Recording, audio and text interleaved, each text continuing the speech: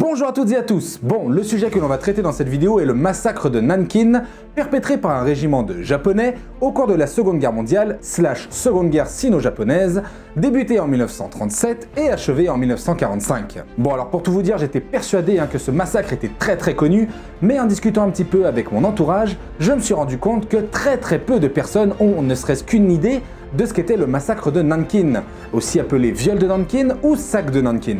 Je me suis donc dit que ce serait pas mal d'en faire une petite vidéo. Mais le problème, c'est que le contenu de cette vidéo va être très dur, voire insupportable. Cet épisode historique hein, est comparable pour les Chinois à Hiroshima, voire à Auschwitz. C'est vous dire. Vous êtes donc prévenus pour les plus jeunes et les plus sensibles d'entre vous. Bien, c'est parti pour un des épisodes les plus sombres de l'histoire japonaise, le massacre de Nankin, sur tout est bon dans le Japon.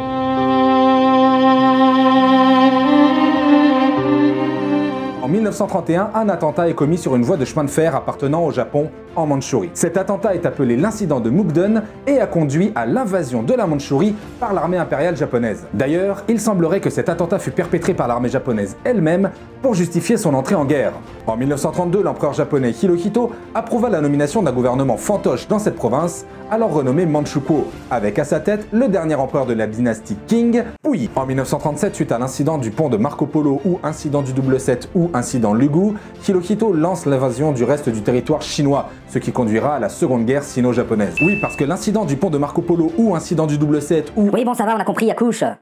Bref, l'histoire de cet incident, c'est que le 7 juillet 1937, les Japonais qui s'entraînaient à l'extrémité du pont Marco Polo, non loin de Pékin, aussi appelé pont de Lugu, tout s'explique, accusèrent les Chinois d'avoir enlevé un de leurs soldats qui est réapparu deux heures plus tard. Les Japonais voulurent alors fouiller toutes les maisons, mais la Chine a dit non.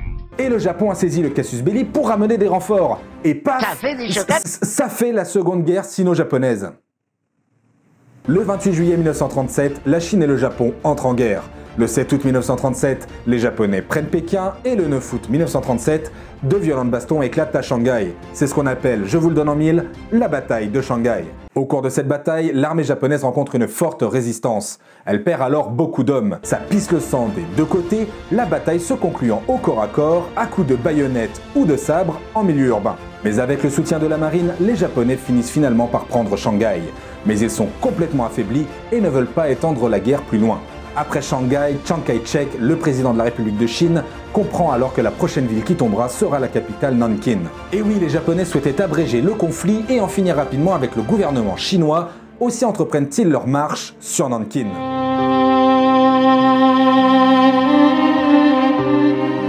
Alors Chiang Kai-shek, lui, il est pas chaud du tout pour perdre ses troupes d'élite dans une bataille perdue d'avance pour la capitale. Chiang se retire alors dans l'arrière-pays, pensant pouvoir utiliser son vaste territoire à son avantage. Il emmène avec lui une grande partie de ses troupes dans le but de planifier une guerre de position afin de tenter d'avoir les Japonais à l'usure. Le général Tang Shengzi reste avec ses hommes pour protéger la ville sur les ordres de Chiang Kai-shek. Les hommes de Tang hein, représentent 100 000 soldats sous-entraînés ou extrêmement affaiblis puisque venant tout juste de sortir de la bataille de Shanghai. Déjà, ça part mal. De plus, Tang ordonne à ses soldats de bloquer les portes de la ville pour que les civils ne puissent pas s'enfuir, comme le lui avait demandé Chiang Kai-shek. Tout civil qui tenterait de fuir serait brûlé. D'ailleurs, il brûla tout le pourtour de la ville de Nankin pour freiner l'avancée des Japonais. C'est la stratégie militaire dite de terre brûlée. Elle porte bien son nom. Une zone de sécurité est alors établie par les étrangers vivant à Nankin. Vous pourriez mettre en place une zone de sécurité pour les civils. Concernant la zone de sécurité, qui vote pour? Est-ce que vous acceptez votre nomination, Monsieur Rab c'est le comité international de la zone de sécurité de Nankin, avec à sa tête John Rabb, élu de par son appartenance au parti nazi et l'existence du pacte anti-comintern entre le Japon et l'Allemagne. La population déménage dans la zone de sécurité dès le 1er décembre 1937 à la demande du maire. Les Japonais quant à eux se sont engagés à ne pas attaquer les zones démilitarisées ainsi que les civils. C'est pourquoi le comité demande au gouvernement chinois de faire sortir ses troupes de la zone de sécurité. Meanwhile, Shirohito trouve que son oncle, le prince Asaka Yasuhiko, a une véritable attitude de merde. Il l'envoie alors à Nankin. Ça lui fera les pieds. Alors, en tant que dirigeant, bien sûr, ah, il est bien trop noble pour prendre part au combat, penses-tu? Asaka débarque alors à Nankin le 8 décembre 1937. Là, les lieutenants généraux lui disent que la situation est totalement gérable et que les Chinois seraient même prêts à se rendre. Ah bon? Le prince Asaka aurait alors donné l'ordre de tuer tous les prisonniers, comme représailles, même si certains historiens prêtent plutôt cet ordre au lieutenant-colonel Isamu Cho, l'aide de camp du prince, qui aurait fait ça dans son coin sans en référer au prince. Toutefois, admettons qu'Isamucho ait bel et bien donné l'ordre. Le prince Asaka, lui, qui a bien fini par être au courant, n'a donné aucun ordre contraire pour arrêter le carnage. Quand le général Matsui Iwane arrive dans la cité 4 jours après le début du massacre, il donne des ordres stricts pour en finir. Il sera d'ailleurs jugé pour ça, mais nous en parlerons dans une prochaine vidéo, cette vidéo-là étant déjà suffisamment longue.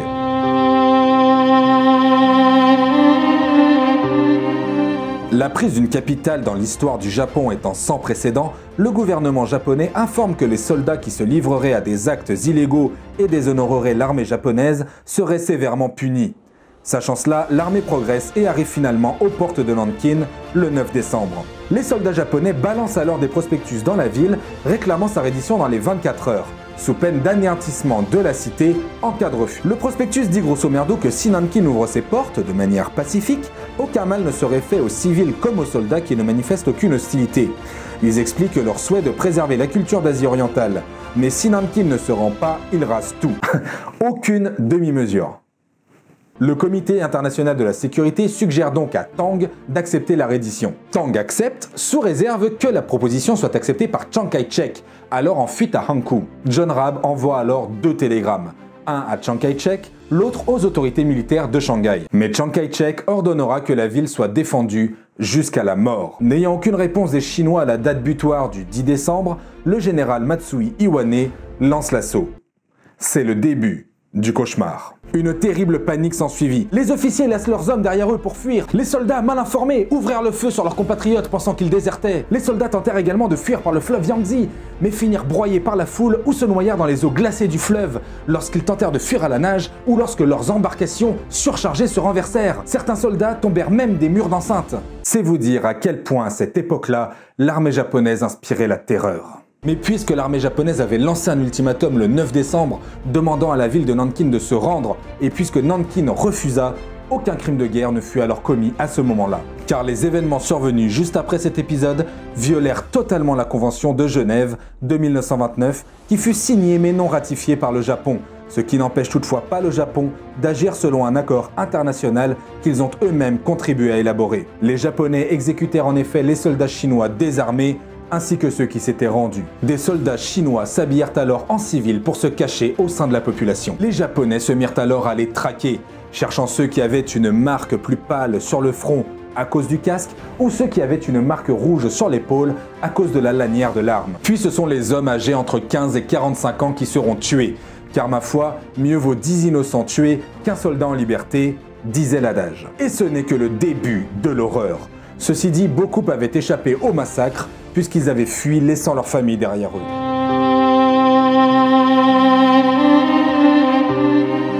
Le 19 décembre 1937, le général James M. McCollum écrit dans son journal intime Je ne sais pas quand cela se terminera. Jamais je n'ai entendu ou lu autant de brutalité. Viol, viol, viol Nous estimons au moins 1000 cas par nuit et beaucoup de jours. En cas de résistance ou tout ce qui ressemble à une réprobation, il y a un coup de baïonnette ou une balle. Les gens sont hystériques. Les femmes sont emportées chaque matin, après-midi et soir. Toute l'armée japonaise semble libre d'aller et venir comme elle veut et de faire ce qui lui plaît. Les femmes sont en effet souvent emmenées dans les casernes et ne reviennent que le lendemain, voire une semaine plus tard. Dans ces casernes, elles servaient de servantes le jour et d'esclaves sexuels la nuit. Robert O. Wilson écrira à sa famille le 15 et 18 décembre 1937. Laissez-moi vous raconter certains cas qui ont eu lieu ces deux derniers jours. La nuit dernière, la maison d'un des membres chinois du personnel de l'université a été détruite et deux des femmes qui sont parentes avec lui ont été violées. Deux filles d'environ 16 ans ont été violées à mort dans un camp de réfugiés. Dans l'université où se trouvent 8000 personnes, les Japonais sont venus dix fois dans la nuit, passant dessus du mur, pour voler de la nourriture, des vêtements et violer jusqu'à satisfaction. Ils ont donné cinq coups de baïonnette à un petit garçon de 8 ans, dont un dans l'estomac une partie de son épiploune se retrouvant alors hors de son abdomen. Je pense qu'il va vivre. Le révérend John McGee tourna un film en 16 mm pour témoigner des atrocités commises par les soldats japonais. Certains clichés seront décrits par la secrétaire des légations allemandes à son ministère des Affaires étrangères. Le Le 13 décembre, environ 30 soldats sont venus à la maison chinoise au 5 rue Singluku, dans le quartier sud-est de Nankin, et ont demandé à entrer. La porte a été ouverte par le propriétaire, un musulman appelé Ha. Ils l'ont tout de suite tué avec un revolver. Et également Madame Ha, qui s'est agenouillée devant eux après la mort de son mari, les suppliant de ne tuer personne d'autre. Madame Ha leur a demandé pourquoi ils ont tué son mari et ils l'ont abattu. Madame Sia a été traînée de dessous une table dans la salle des invités où elle a tenté de se cacher avec son bébé âgé d'un an. Après avoir été déshabillée et violée par un ou plusieurs hommes, elle a reçu un coup de baïonnette dans la poitrine et une bouteille a ensuite été introduite dans son vagin. Le bébé a été tué à la baïonnette. Certains soldats sont ensuite allés dans la pièce suivante, où se trouvaient les parents de Madame Sia, âgés de 76 et 74 ans, et ses deux filles de 16 et 14 ans. La grand-mère a essayé de protéger les deux filles du viol des soldats. Ils l'ont tuée avec un revolver. Le grand-père a saisi le corps de sa femme et a été tué. Les deux filles ont été ensuite déshabillées, la plus âgée violée par deux ou trois hommes et la plus jeune par trois hommes. La fille la plus âgée a été poignardée et un bâton introduit dans son vagin. La plus jeune a reçu des coups de baïonnette, mais a été épargnée du traitement horrible subi par sa sœur et sa mère. Les soldats ont ensuite donné des coups de baïonnette à une autre sœur de 7-8 ans qui était aussi dans la pièce. Les derniers meurtres de cette maison sont ceux des deux enfants des Ha, âgés respectivement de 4 et 2 ans. Le plus âgé a été tué à la baïonnette et le plus jeune à l'épée. Les troupes japonaises forcèrent même les familles à l'inceste, le père avec la fille, le fils avec la mère. Ils forcèrent aussi des moines qui avaient fait vœu de célibat à violer des femmes.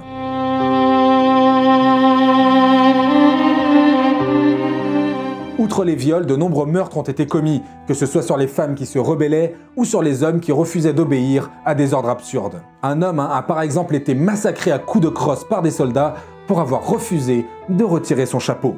Les soldats japonais éliminaient également les enfants à la baïonnette ou à l'épée, ou prenaient les nourrissons et leur fracassaient la tête contre le sol. Autant d'actes atroces qui s'ajoutent à l'horreur de Nankin. Tang Junshan, survivant et témoin d'un des massacres, témoigne. La septième et dernière personne de la première rangée était une femme enceinte. Le soldat pensait qu'il pourrait tout aussi bien la violer avant de la tuer, alors il l'a tirée hors du groupe à un endroit situé à une dizaine de mètres. Alors qu'il essayait de la violer, la femme a résisté avec vigueur. Le soldat l'a violemment poignardée dans le ventre avec une baïonnette. Elle a poussé un dernier cri lorsque ses intestins sont sortis. Ensuite, le soldat a poignardé le fœtus avec son cordon ombilical clairement visible et l'a jeté à côté. L'armée japonaise utilisait une trompette pour donner l'ordre de tuer tous les Chinois qui s'enfuyaient. C'est ainsi que des milliers de civils chinois ont été exécutés et balancés dans une fosse qu'on a surnommée la fosse aux 10 000 corps.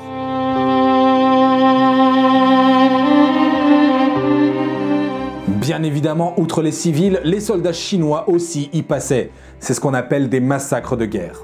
Le 6 août 1937, le ministère de l'armée japonaise supprime les contraintes des lois internationales sur le traitement des prisonniers chinois. Le terme prisonnier de guerre n'est alors plus utilisé. Les Chinois sont appelés buta, cochon, ou kachku, bétail, déshumanisant alors totalement l'ennemi.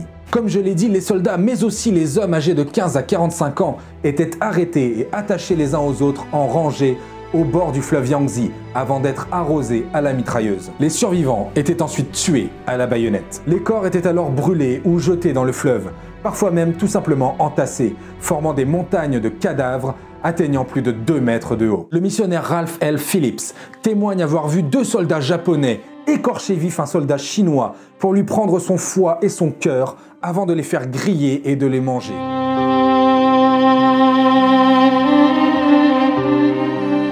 Outre les viols et les meurtres, les Japonais se donnèrent également à cœur joie dans le pillage de la ville. Et oui, ils se disaient que si les Chinois ne résistaient pas plus que ça quant à l'invasion de leur ville, bah ma foi c'est que c'était ok de piller les richesses de la ville. Outre les pillages, ils brûlèrent également bon nombre de maisons avec parfois des civils à l'intérieur. Et puis il arrivait aussi qu'ils mettent le feu aux civils directement. Le 17 décembre 1937, John Rabb écrit en tant que président du comité international une plainte à Kiyoshi Fukui, second secrétaire de l'ambassade japonaise. Dans son communiqué, il demande à ce que l'ordre soit restauré au sein des troupes japonaises afin que la capitale Nankin puisse retrouver un tant soit peu une vie normale.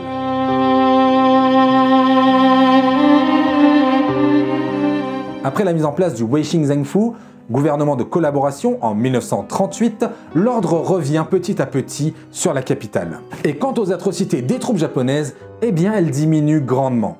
À la fin du mois de janvier 1938, c'est l'armée japonaise qui somme les réfugiés de la zone de sécurité de rentrer chez eux, leur annonçant que la vie dans la cité est revenue à la normale. Enfin, le 18 février 1938, le Comité international de la zone de sécurité de Nankin est renommé Comité international de secours de Nankin, et la zone de sécurité cesse effectivement d'exister. Les derniers camps de réfugiés sont fermés en mai 1938. Alors il reste encore énormément de choses intéressantes à dire autour du massacre de Nankin, que ce soit le procès des protagonistes ou encore même les débats sur le massacre qui ont encore cours aujourd'hui. Mais on se garde ça bien au chaud pour une prochaine vidéo. En tout cas, je vous remercie d'avoir suivi celle-ci jusqu'au bout. Comme d'habitude, un likez, partagez, abonnez-vous si ce n'est pas déjà fait. Tout ceci soutient la chaîne un maximum. Et sur ce, je vous dis à très bientôt pour de prochaines vidéos. Janet